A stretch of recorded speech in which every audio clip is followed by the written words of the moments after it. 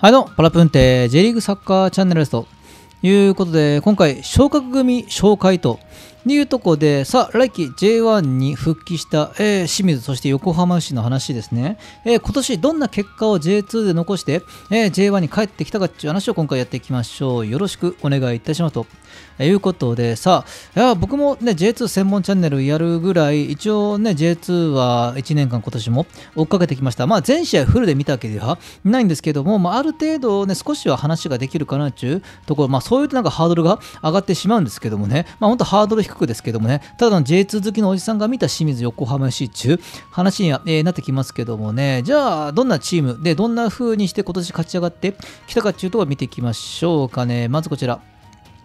まずこれが J2 の、えー、順位表というところです。まあ、清水横浜市が小学で、こからだから3、4、5、6、長崎、山形、岡山、仙台、ここからいずれかがプレーオフから、え上がってくるっていうところには、えー、なってきます。また上がってきたらその時は話を別にしようとは、えー、思っておりますけども、さあ、えー、まず清水ですね、え得点数68、これは、えリーグ2番目に多い数字には、えなってきます。まあ、最多得点は長崎なんですね。で、失点数38、これ38という失点数は、えまあ、別にこう特別少ないわけではなくて、結構失点自体は極端に少ないわけではない、もっと失点数自体は少ないクラブはいくつかあるというところですけども、一応こんな感じで、横浜 FC は得点数は60、そして失点数は逆に少ない27というところなんで、まあ、横浜 FC はどちらかちょっとこの守備で、えー、頑張っていたクラブというところには、えー、なってきます。でも平均価値でも2.16、2.0なんで、まあ、大体こんぐらいですよね、J2 から上がってくるクラブの勝ち点はというところですね。じゃあまず清水から見ていきましょうかね。こちら。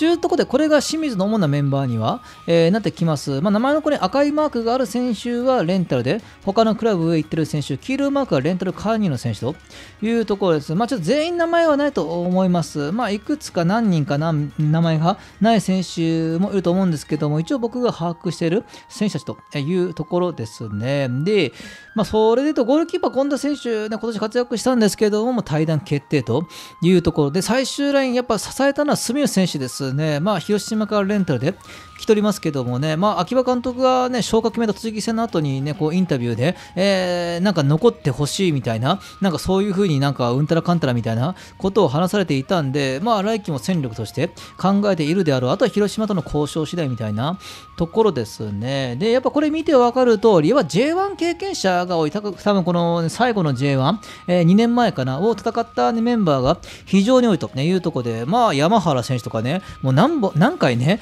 えー、J1 の他クラブはこの山原選手にやられたかっていうところにもなってきますけども、山原選手とか、えー、去年ベルディとの、ね、プロフで悔しい思いした高橋選手とかもそうですし、原選手もそうというところなんで、割とこう最終愛に関しては、まあ、数年前の J1 経験者が中心というところで逆にボランチンと今年宮本選手がね結構ね本当いいプレー見せました。攻守においてね、えー、特に守備のところのキサチ能力が高い選手にはなってきますもっとこうパサー型の昔はイメージあったんですけどもただ今年は特に守備のところでの頑張りも目立っておりましたね。あとは元長さ、えー、ファジアのかファジアの岡山とか浦和レッズにいた矢島選手とかね、えー、あとは、ね、中村選手宇野選手このレンタル組の活躍も目立ちました。で前線は、まあ、右ルーカス・ブラがレンタルで来てますんで、来季どうなるかというところです。で、やっぱ乾が来季 J1 に帰ってきますんで、これちょっと楽しみですね。で、まあ、センターフォワードは結構メンツ的にはね、います。夏場にヤクブ選手、短期選手を獲得して、途中からっていい結果残したんですけども、まあ、えー、やっぱレギュラーはキャプテン、北川選手と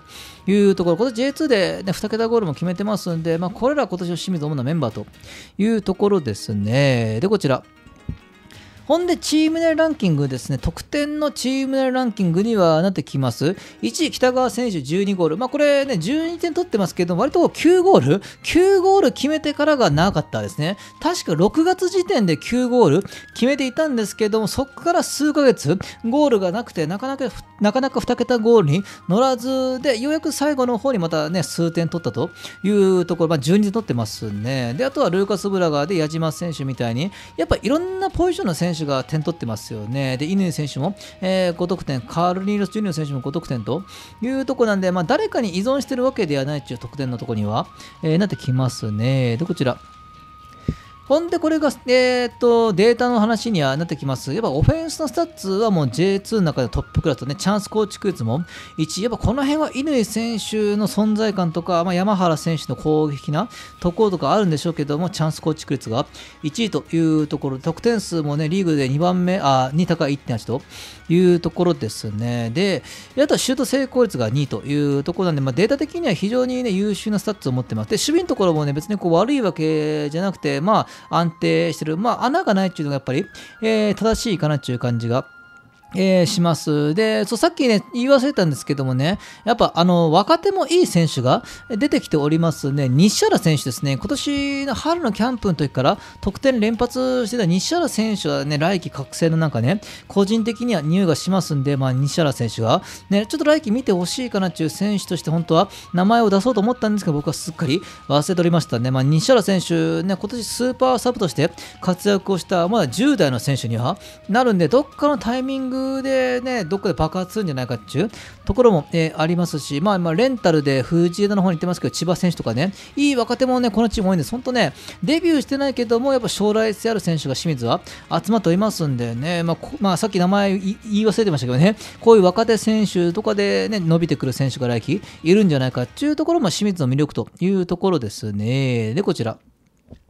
ほんで、これは90分間換算の、えー、スタッツというか、まあ、データですね。で、保持率が3位なんですけども、これがなかなかだが難しいところですよね。去年の東京ヴェルディも J2 での保持率は、ね、高い方でしたね。高い方だったんだけど、今年は J1 中クラブを相手にしますんで、保持率が下がったんですね。で、だからここにどう適応するか。今年は保持型のサッカー、まあ、やっぱり戦力的には清水が、ね、他クラブをやっぱり凌駕しておりましたんで、そうなれば、えー、来季は保持よりも非保持、えー、非保持の時間が長くなる。で、今年は保持で勝ってきたっていうところがありますんで、非保持のやり方でどんだけやれるか。まあ、もちろんね、来季も、まあ、えー、ポジションに高めに可能性もあるんですけど、基本的には J1 クラブの方がね、ボール持つ時間は長くなると感じますんで、今年ほどは持ってない。多分今年ほどボールは持てないと思いますんで、そこでどんな、えー、戦い方をすることができるかどうか、非保持の戦い方をすることができるかどうかというところもちょっと清水はね、注目にはなってくるかなっていうところには、えー、なってきます。っていうところで、まあ、清水の紹介なんですけども、やっぱりさっきも言いましたけれども、こう誰かに依存してとかね、誰か中心選手がいて、その選手がチームを勝たせた中よりも、やっぱその時期、そのタイミングによって活躍する選手が違ったりとか、特に春先はね、春先は矢島選手の活躍を目立っておりましたね。ウィングとして矢島が結構活躍をしてたイメージがあるんですけども、その後はね、さっき言った、まあ、結局北川選手が 2, 2桁ゴールを決めるとかありましたし、途中から入る西原選手が、ね、活躍するみたいなところもあって、誰かに依存しない戦い方ができてるっていうのが僕の中の清水のイメージに、え、なってきますけども、さあ、えー、来季清水どんな結果を残すかというところですね。で、こちら。ほんで、横浜 FC ですね。横浜 FC の今年の主なメンバーはこんな感じというところ、横浜 FC はまだこうレンタル組とかのね、まとめができておりませんので、一応今年の既存のメンバーだけというメンバーには、えー、なってきます。まあ、J2 屈指のセンターバックに成長した運動家ボニフェスがいて、で、今年の J2 アシストをですね、今シーズンの J2 アシスト、福森選手もね、言うと、福森は来季札幌に戻るんかな、それともね、横浜 FC へ完全してか分かりませんけども、この間のセンターライン、本当に運動家ボニフェスがね、え、しっかり守って福森のセットプレーで決めきるみたいな、本当ね、今年の春先特にね、特に春先をこれ福森選手のセットプレーから点取ってそれを守りきるみたいな、えー、時期もありまして、とにかく横浜にしてはセットプレーが得点率が高いみたいな時期が、えー、なかったんですけども、徐々にこうシーズンが進むにつれてセットプレー以外の流れから得点も増えてきた、そんなイメージがある横浜 FC ですね。もう今年は20戦無敗かな、20試合連続無敗を達成したね、横浜 FC には、えー、なってきます。まあ、長崎は22戦かな、無敗だったんだけど、最大横浜 FC の最後苦しましたけど、これ20戦無敗を、えー、作り上げたというところですね。で、ボランチのとこもだからまあうあれか三田選手が対談発表になってますね。で、まあ、今年 J2 でね僕がベストイレブン取るんじゃないかっていうのは有利ララですね。ボランチの有利選手に関しては本当に攻守において聞いてました、まあ、セットプレーでもね。そうなんですけどもやっぱこうボランチの位置から高い位置を取るみたいなね、えー、こうボランチの位置から飛び出してきてポケットを取るみたいな。動きもやっぱ秀逸でしたし、まあ、僕は有利ララに関してはね今年の J2 ベストイレブンに、えー、ぜひとも押したいという選手にはなってきますで、横浜 FC はね、あれなんですよね。昨年 J1 から J2 に落ちた落ちたんだけども、基本的には J1 自体のメンバーが揃ってるというとこなんで、まあ、メンバーでいないの違うのは桜川ソロモンがいてとか、高橋俊樹がシーズン途中に裏に来て、裏から来てとかね、えー、森選手がみたいに、ちょっと一部ね、メンバーがいない選手はいなかった選手はいるんだけど、ベースはね、ベースの部分に関しては、やっぱ、えー、J1 の、まあ、昨年から昨年の J1 時代のメンバーが思うというところですね。あとは、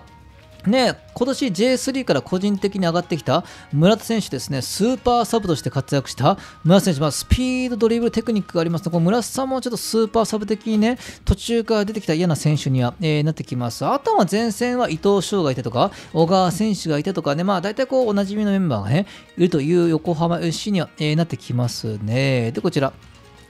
ほんで、横浜 FC の得点者トップ5というところですけども、1位伊藤翔に小川選手で、3位カプリーというところなんで、実は最多得点の7ゴール決めてるのはみんな中盤、中盤というか、シャドウの選手にはなってきます。まあ、伊藤翔もね、センターフォワードだったんですけども、今年主にもシャドウで出てますんで、シャドウ、まあ、みんながみんなみんなミッドフィーダーですね。みんなミッドフィーダーの選手が最多得点3人というところで、フォワードはじゃあ誰が点取ってるか、じゃ桜川ソロモンですね。桜川ソロモンの5得点というのはチーム最多という数字で、桜川ソロモンが5点取ってるから、じゃあレギュラー選手かっていうと、実はそうでもなくて、実は先発で一番多く出てたセンターフォワードは高橋俊樹には、えー、なってきます。今年で桜川ソロモンは5点取ってるんですけど、高橋選手に多いんですよね。高橋俊樹が確か4点かな。高橋俊樹よりも得点数は多いんだけど、主にこうスーパーサブとして出番があった桜川ソロモンには、えー、なってきますんでね。で、ボランチの有利選手が5得点というふうに、これ清水もそうですけども、誰かにこう依存してるわけではない。まあ、みんながみんな、